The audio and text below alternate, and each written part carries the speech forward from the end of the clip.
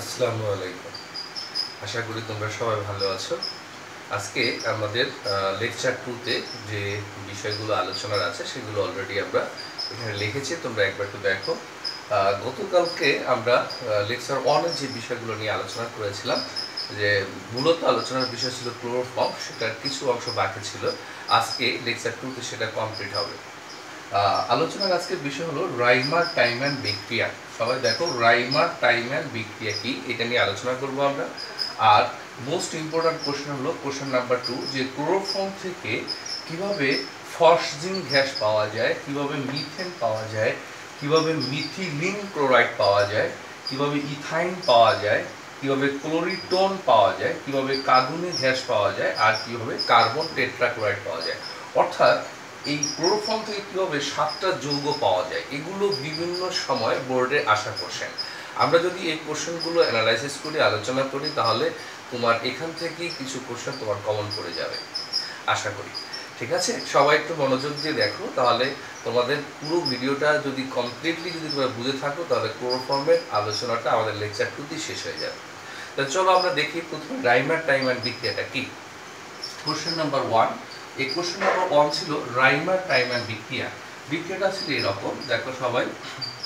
আমার সাথে সাথে লিখে রাখ লিখে ফেলো এটা হলো ফ্যানল। ফ্যানল প্লাস হলো ক্লোরোফর্ম প্লাস হলো সোডিয়াম হাইড্রক্সাইড। তবে এটা অ্যাকোয়াস অবস্থায়, জলীয় অবস্থায়, এটা সিক্সটি ডিগ্রি সেলসিয়াস তাপমাত্রায় বিক্রিয়া করবে বিক্রিয়া করে যে প্রোডাক্ট তৈরি করবে, সে প্রোডাক্ট হলো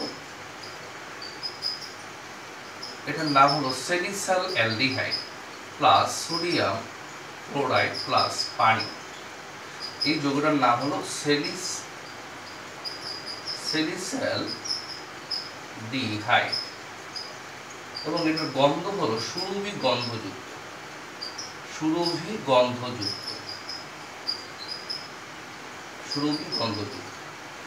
তাহলে ড্রাইভার টাইমের বিক্রিয়াটা হবে এরকম যে এই কম্পাউন্ডটার নাম আমরা বলেছি ফেনল।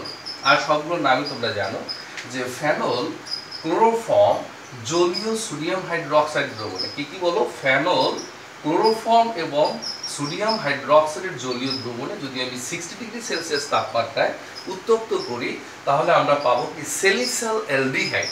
এই সেলিসাল অ্যালডিহাইড সোডিয়াম ক্লোরাইড পানি পাবো। এই বিক্রিয়াটার নাম হলো রাইমার টাইমার বিক্রিয়া, আর উৎপন্ন এই সেলিসাল অ্যালডিহাইডের গন্ধটা হলো সুরভি গন্ধযুক্ত।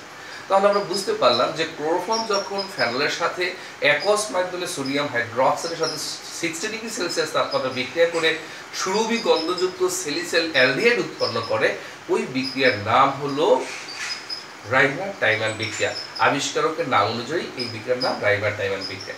তাহলে তোমরা বুঝতে পেরেছ রাইমার টাইমান বিক্রিয়াটা কি। এবার চলো পরবর্তী কোশ্চেন যেটা most important question question number two দুই নম্বর কোশ্চেনে আমরা পর্যায়ক্রমে সবগুলো দেখানোর চেষ্টা করব। দুই নম্বর কোশ্চেনে প্রথমে বলছে কীভাবে ক্লোরোফর্ম থেকে ফসজিন গ্যাস পাওয়া যায়। তাহলে আমরা রোমান এক, কীভাবে ক্লোরোফর্ম থেকে ফসজিন গ্যাস পাওয়া যায়, দেখো, আমরা প্রথমে ক্লোরোফর্ম লিখছি। ক্লোরোফর্ম অক্সিজেন দ্বারা জারিত হবে সূর্যালোকের প্রেজেন্সে সূর্যালোক বা সূর্যের আলো। সূর্যালোকের প্রেজেন্সে বিক্রিয়া করবে। বিক্রিয়া করে তৈরি করবে সিওসিএল টু প্লাস হলো এইচসিএল এই যৌগটার নাম হলো ফসজিন গ্যাস। Phosgene gas. তাহলে আমরা কি পেয়ে গেলাম?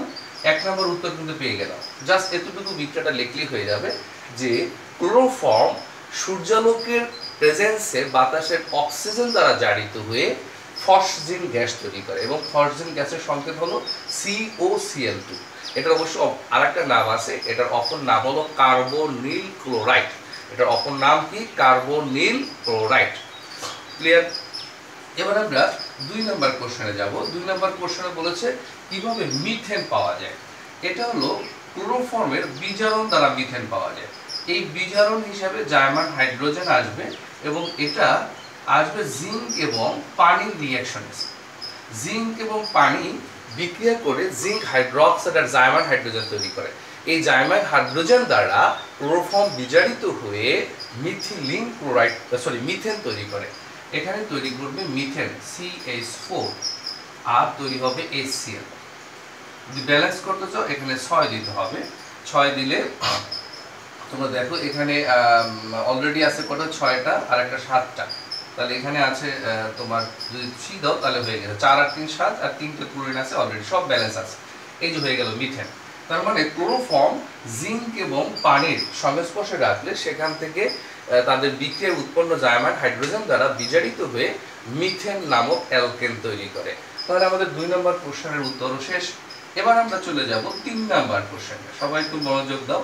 তিন নাম্বার কোশ্চেনে বলেছে মিথিলিন ক্লোরাইড এই রিয়াকশনটাও তোমার এই ক্লোরোফর্মের বিজারণ দ্বারাই হবে। তবে বিজারণে এখানে জিঙ্ক আর পানি রিয়াকশন করবে না জিঙ্ক আর এসিএল রিয়াকশন করবে। জিঙ্ক আর এসিএল রিয়াকশন করে জিঙ্ক ক্লোরাইড আর জায়মান হাইড্রোজেন তৈরি করে। এই জায়মান হাইড্রোজেন দ্বারা ক্লোরোফর্ম বিজারিত হয়ে এবার মিথেন নয় মিথিলিন ক্লোরাইড সৃষ্টি করবে। এবং সেই প্রোডাক্টটার নাম হলো CH two Cl two methylene chloride আর তৈরি করবে HCl এখানে তুমি জায়মান হাইড্রোজেন হিসাবে দুইটা দিতে পারো, তোমার ব্যালেন্স হয়ে যাবে। কাউন্ট করে দেখো, এখানে টোটালি ব্যালেন্স আছে এখানে।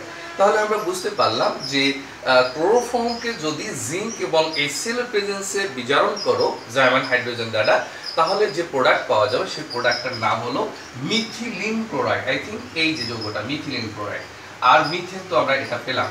তাহলে কিন্তু পরপর আমরা তিনটা প্রশ্নের উত্তরই দিতে পারলাম। তোমরা সবাই এই তিনটা প্রশ্নের উত্তর লিখে ফেলো। ক্লিয়ার এবার আমরা চলে যাব চার নাম্বার কোশ্চেনে চার নাম্বার কোশ্চেনে কি বলেছে দেখো তোমরা। চার নাম্বার কোশ্চেনে চেয়েছে কীভাবে ইথাইন পাওয়া যায় ইথাইন তাহলে ইথাইনটা পাওয়া যাবে কীভাবে? এখানে ক্লোরোফর্মের সাথে সিলভার সিলভার ডাস্টের রিয়াকশনে হবে এবং এটাকে উত্তপ্ত করতে হবে।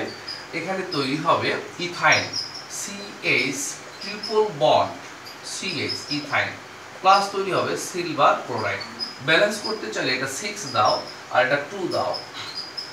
তাহলে কিন্তু এখানে ব্যালেন্স হয়ে গেছে। এখানে ছয়ানো সিলভার ক্লোরাইড সিলভার ক্লোরাইড হবে।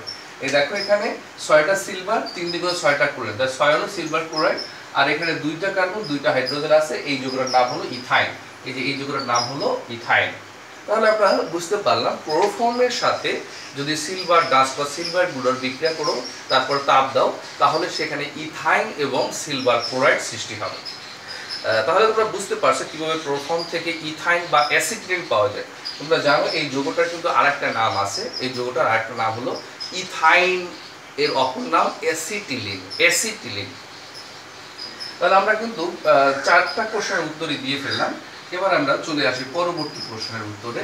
পরবর্তীতে যে কোশ্চেনটার উত্তর চেয়েছে, এটা মোস্ট ইম্পর্টেন্ট কোশ্চেন সেটা হলো কীভাবে ক্লোরোফর্ম থেকে ক্লোরিটোন পাওয়া যায়। পাঁচ নাম্বার কোশ্চেন দেখো।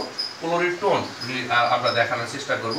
এটা হলো সিএসসিএল থ্রি ক্লোরোফর্মের সাথে অ্যাসিটন বিক্রিয়া করবে acetone CH three C double bond O CH three এই যৌগটাকে অ্যাসিটন বলে অথবা প্রোপাননও বলে। তোমরা সবাই জানো এই যৌগটার দুইটা নাম আছে। এই যৌগটাকে অ্যাসিটনও বলে, আবার এই যৌগটাকে প্রোপাননও বলে। এখানে এটা বিক্রিয়া করে যে প্রোডাক্টটা তৈরি করে, তোমরা একটু তাকাও। দেখো, এখানে তৈরি হয় এরকম একটা যৌগ তৈরি হয়। এই যে যৌগটা তৈরি হলো, এই যৌগটার নামই হলো ক্লোরিটন এই যৌগটার নাম ক্লোরিটন দেখো, এখানে এই যে যৌগটার অ্যাসিটন এখানে CH three CO CH three দেখো CH three CO CH three আছে। আর এই ক্লোরোফর্মে এই হাইড্রোজেন এখানে যুক্ত হয়েছে সিসিএল এখানে আছে। তাহলে ক্লোরিটন নামক যৌগটাও আমরা কি থেকে পেতে পারি? আমরা ক্লোরোফর্ম থেকে পেতে পারি। জাস্ট ক্লোরোফর্মের সাথে অ্যাসিটন বা প্রোপাননের বিক্রিয়ায় আমরা ক্লোরিটন নামক যৌগ পেতে পারি। আমরা প্রায় শেষের দিকে চলে আসছি। এবার ছয় নম্বর কোশ্চেনের উত্তর আমরা দেখার চেষ্টা করব। ছয় নম্বর যে কোশ্চেনটা ছিল, সেটা হলো কীভাবে, দেখো কীভাবে ক্লোরোফর্ম থেকে কার্বনের গ্যাস পাওয়া যায়? এটা কিন্তু গত ক্লাসও আমরা আলোচনা করেছিলাম যে ক্লোরোফর্মের সাথে এটাকে নাইট্রেশন করবা। নাইট্রেশন করতে হলে কি? নাইট্রিক অ্যাসিড লাগবে না, এটা গাঢ় নাইট্রিক অ্যাসিডের সাথে ক্লোরোফর্ম বিক্রিয়া করবে বিক্রিয়া করে তৈরি করবে, দেখো C Cl three NO two plus পানি। এই যৌগটার নামই হলো কি? কাদুনে গ্যাস। কাদুনে গ্যাস। বা এটার অপর কিন্তু নাম তোমরা জানো, এটার অপর একটা নাম আছে ক্লোরোপিক্রিন এটার অপর নাম কি? এটার অপর নাম ক্লোরোপিক্রিন ক্লোরোপিক্রিন কি? কাদুনে গ্যাস বলা হয়। এই যৌগটার অপর নাম ক্লোরোপিক্রিন যে সিসিএল থ্রি এনও টু অথবা কাদুনে গ্যাস। তাহলে আমরা কি করলাম? যে এখানে ক্লোরোফর্মকে যদি নাইট্রেশন করা, আই থিঙ্ক গাঢ় নাইট্রিক যদি বিক্রিয়া করানো হয়, তখন দেখো এখানকার ওয়েস আর এই হাইড্রোজেন যুক্ত হয়ে তৈরি হয়ে গেছে পানি। আর এই সিসিএল থ্রির সাথে এরো টু যুক্ত হয়ে তৈরি হয়ে গেছে কি? কার্বনে গ্যাস। তাহলে আজকে কিন্তু আমাদের এই ক্লোরোফর্ম থেকে ছয়টা যৌগ কিন্তু আমরা তৈরি করে ফেললাম। আমাদের লাস্ট কোশ্চেন হলো, ক্লোরোফর্ম থেকে কীভাবে কার্বন টেট্রাক্লোরাইড পাওয়া যায়। সবাই একটু মনোযোগ দাও। ক্লোরোফর্ম থেকে কার্বন টেট্রাক্লোরাইড কীভাবে পাওয়া যায় এটা আমরা দেখার চেষ্টা করব এখানে। এখানে ক্লোরোফর্ম, ক্লোরোফর্মের সাথে আমি ক্লোরিনের রিয়াকশন করাবো। তবে এটা মৃদু সূর্যালোক হবে। মৃদু সূর্যালোক। এটা প্রখর সূর্যালোক নয়, এটা তোমার মৃদু সূর্যালোক হবে।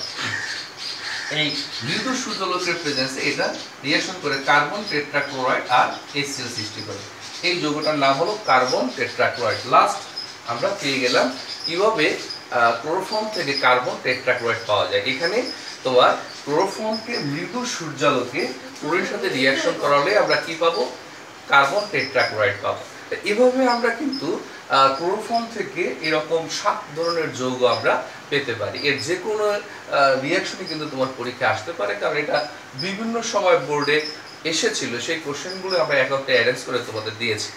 আশা করি টোটাল ভিডিওটাই তোমরা বোঝার চেষ্টা করেছ। বুঝতে পেরেছ? যদি বুঝে থাকো, তাহলে আমরা যে alkyl, trihalide I think trihalo অ্যালকেনের যে প্রথম ভিডিও থেকে স্টার্ট করেছিলাম, এই দুইটা লেকচারে আজকের প্রোফর্মের টোটাল অংশটা ডাক হলো। ইনশাল্লাহ পরবর্তীতে দেখা হবে লেকচার থ্রিতে অন্য বিষয় নিয়ে। সে পর্যন্ত তোমরা সবাই ভালো থেকো। আল্লাহ হাফেজ।